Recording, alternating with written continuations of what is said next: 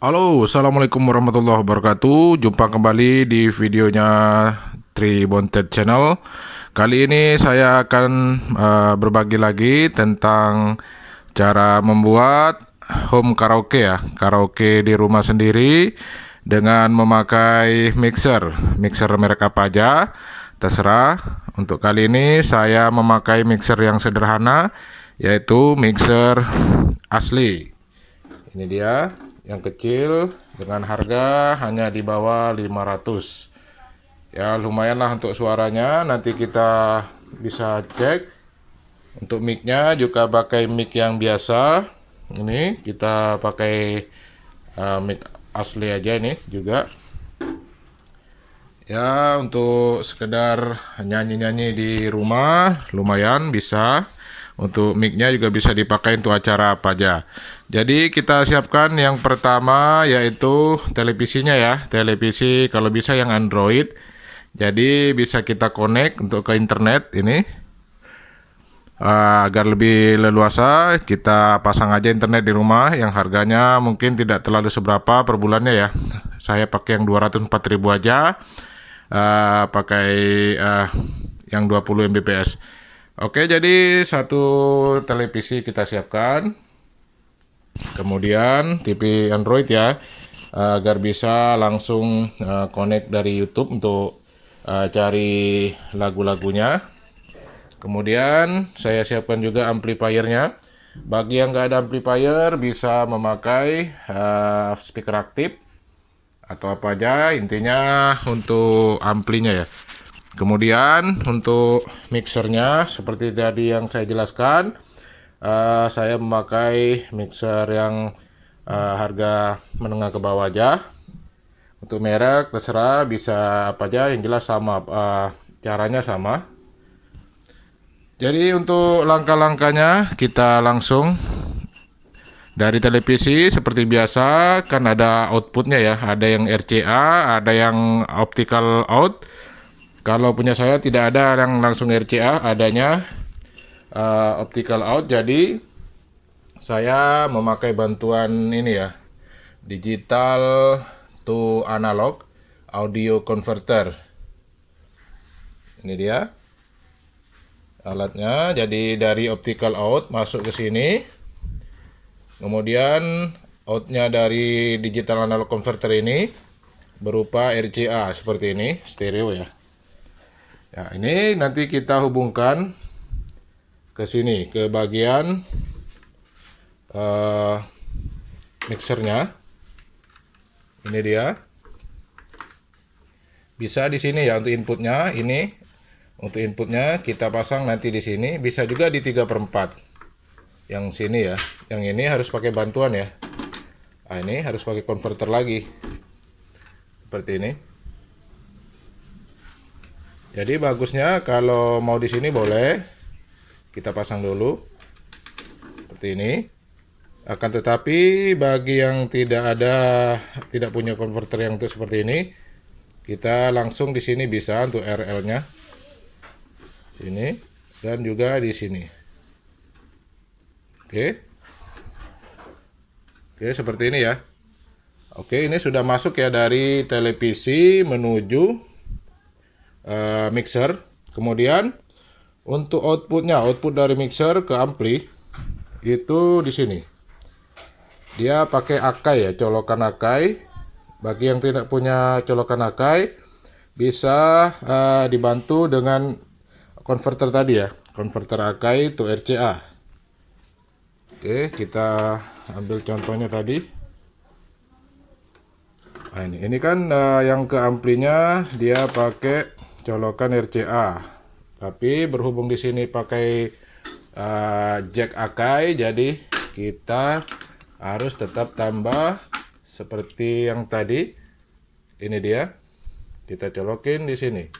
L dan R outputnya di sini. Oke. Jadi yang ke amplifier ini kita masukkan di sini satu, di sini satu untuk L-nya. Oke, seperti ini. Jadi input dan output sudah ada. Seperti ini. Oke, kita bisa coba uh, kalau cari lagu dulu ya. Kita cari lagu dulu. Oke sebentar. Oke ya jadi uh, ini kita ya ambil musik ini dulu ya. Ini untuk musiknya dulu ya. Yang pertama kita hidupkan amplinya dulu. Oke oh ini juga kita hidupkan untuk mixernya.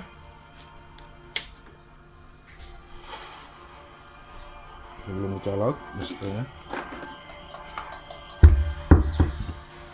oke ini sudah hidup ya. Sudah hidup kita tes musiknya. Untuk oh ini untuk apa namanya? Konverternya tadi harus ada 5 volt ya 5 voltnya seperti ini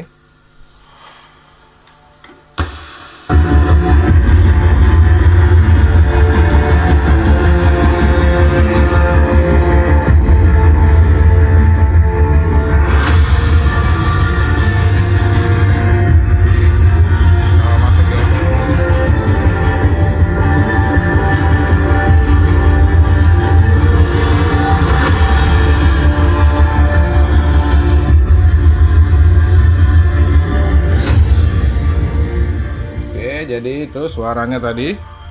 Jadi sudah masuk. Kita tinggal sambungkan untuk micnya. Untuk mic. Jadi untuk pengaturannya tadi ini ya.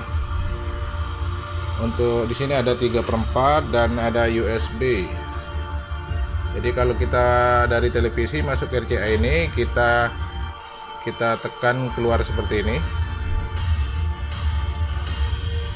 kalau kita mau dari USB yang dari sini kita bisa pilih uh, kita tekan ya. Oke sekarang untuk pengaturan micnya ini dia lubang micnya. Ini pakai XLR ya. Colokannya XLR Oke colokan XLR berarti jika kita pakai mic langsung pakai colokan Akai bisa juga seperti ini tapi tidak akan maksimal untuk suaranya. Suaranya akan kecil sekali. Jadi kita harus memerlukan converter ya. Converter seperti ini. Nih. Ini SLR tuh Akai agar suaranya bagus. Kita taruh di dua aja ya. Seperti ini. Mantapkan. Oke tek. Kemudian baru kita pasang untuk colokan micnya. Ini. Oke masuk. Lalu micnya akan kita coba. Jadi untuk suara musiknya kita matikan dulu ya. Kita coba micnya dulu.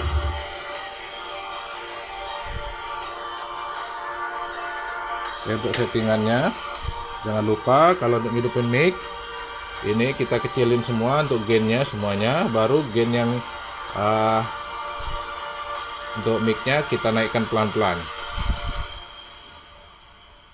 Ini. Ini juga kita atur uh, sesuai selera kita. Untuk high-nya middle ada low. Ini seperti ini. Ini mainnya bisa kita naikkan sedikit seperti ini.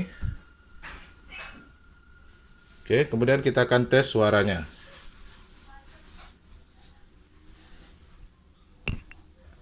kita tes ya suaranya ya. Kita tes suara micnya. Oke. Oh ini hidup berkedip-kedip. Berarti mic sudah masuk. Kita akan coba ya. Tes satu satu satu. Satu dua tiga tiga dua satu. Nah ini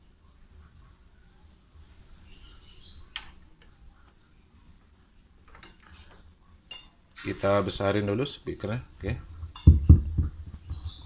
tes satu satu satu dua tiga tiga dua satu.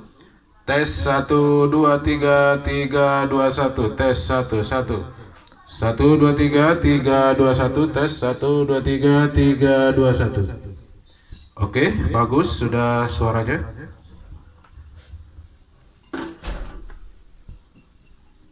oke kita akan coba lagi untuk connect lagu ke uh, ampli atau ke speaker aktif melalui mixernya. Oke, kita akan coba dulu.